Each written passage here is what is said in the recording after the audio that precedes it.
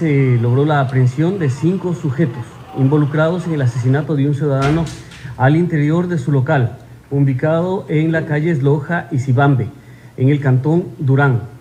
Fueron interceptados en el sector de la Primavera, cuando circulaban en un vehículo taxi en el cual habrían huido del lugar. Así, según testigos, el propietario del local de tatuajes se encontraba en el punto. En pocos minutos un sujeto ingresa, saca un arma de fuego para, pedir, eh, para pedirle robarle su celular, el cual fue entregado sin resistencia.